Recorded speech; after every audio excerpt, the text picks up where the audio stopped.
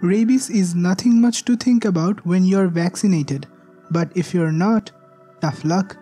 Rabies can be transmitted by stray dogs, cats, bats, and all these other animals.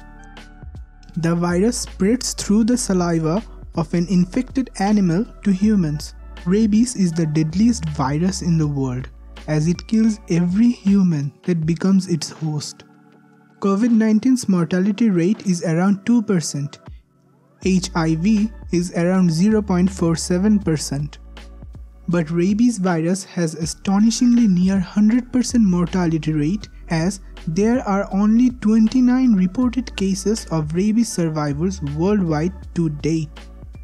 And no human on earth survived rabies before 2004. Rabies causes 56,000 deaths worldwide per year, about 40% of which are children under the age of 15. It's an underreported crisis because most deaths from rabies occur in Africa and Asia. This map shows how deadly rabies can be in different parts of the planet. This disparity can be attributed to lack of vaccination and huge number of stray dogs. This is what a rabies virus looks like. It has a shape of a bullet. It's called Lyssavirus. Lissa virus genome has a negative sense single-stranded RNA molecule that encodes 5 viral proteins. Polymerase L, matrix protein M, phosphoprotein P, nucleoprotein N, and glycoprotein G. Genomes are linear, around 11 kilobits in length. The virus camps in the nerves and saliva of a symptomatic rabid animal waiting for its next prey. The route of infection is usually, but not always, bite. In many cases, the infected animal is exceptionally aggressive, may attack without provocation, and exhibits otherwise uncharacteristic behavior. The virus is so dangerous, it literally modifies the behavior of its host to make sure it gets transmitted to another host. From the point of entry, the virus is neurotropic, which means it travels along the neural pathways into the central nervous system the virus infects muscle cells close to the site of infection where they are able to replicate without being noticed by the host's immune system. Once enough virus has been replicated, they begin to bind to acetylcholine receptors at the neuromuscular junction. The virus then travels through the nerve cell axon via retrograde transportation and then eventually reaches the brain. It rapidly causes encephalitis. Encephalon means brain and itis means inflammation or burn.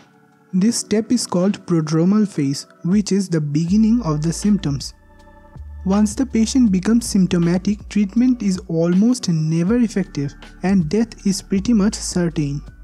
Rabies may also inflame the spinal cord, causing transverse myelitis. Rabies has unique strategies to get around antiviral drugs it avoids the immune system and hides from the antiviral drugs using the blood-brain barrier to protect itself once it has entered the brain. The blood-brain barrier or BBB is a highly selective semi-permeable border of endothelial cells that control what can and cannot get in the brain. During infection of the brain, the permeability of the barrier can increase, allowing immune cells and antibodies through to help clear the infection. However, during infection with rabies virus, the blood-brain barrier locks down, meaning nothing can get through, even antiviral drugs. Now let's talk about the symptoms. It has 5 stages that are distinct from one another. Incubation, prodrome, acute neurologic period, coma and death. Incubation is the time before any symptoms appear. It takes around 3 to 12 weeks, but surprisingly can last as long as 2 years or as little as 5 days. This depends on how far the bite is from the brain. The farther the bite, the longer the incubation takes. By this time, the virus has done its job and death is certain. So it's always recommended to seek for help without waiting for symptoms as soon as someone is exposed to the virus. Its long incubation period and slow replication rate makes it harder for immune system to detect rabies. Prodrome is early symptoms like fever, headache, anxiety, cough, nausea and vomiting and pain at the site of bite. In this period, the virus travels through the motor neuron towards the brain. While traveling, the virus brings out little inflammation in the motor neuron causing prodromal symptoms. Acute neurologic period shows the more distinct and awful characteristics of rabies.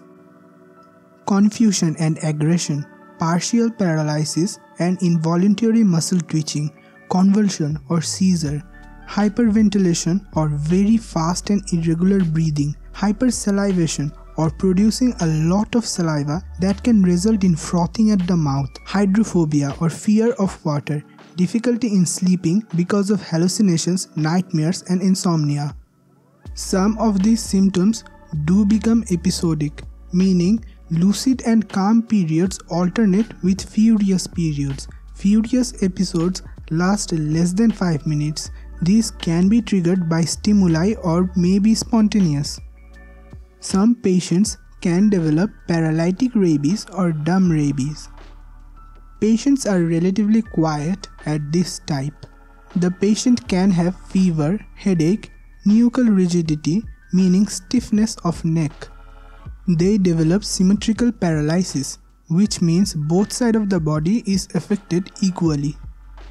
Paralytic rabies can show Guillain-Barré syndrome, a rare disorder in which your body's immune system attacks your nerves.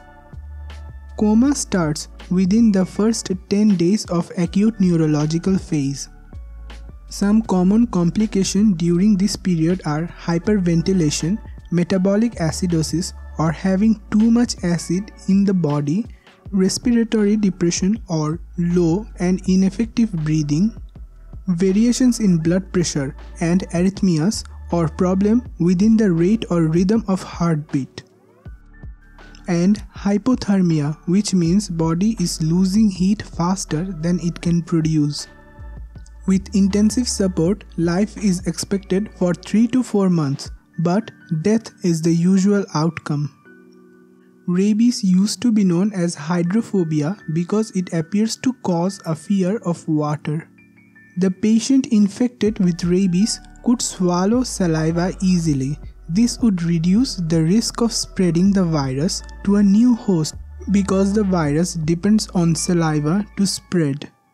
So the virus attacks the nervous system causing spasms whenever the patient tries to swallow.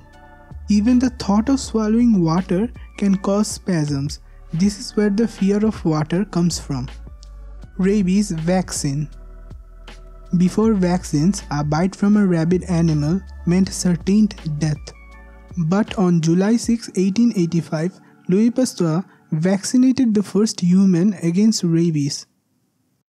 On that day, a nine year old boy named Joseph Meister was rushed to Pasteur after being bitten by a rabid dog. Though Pasteur had never successfully tested his vaccines on humans, he gave Joseph 13 injections containing a weakened rabies virus. Because he was vaccinated before symptoms appeared, the disease never developed and Joseph Meister, the first recipient of rabies vaccine, survived.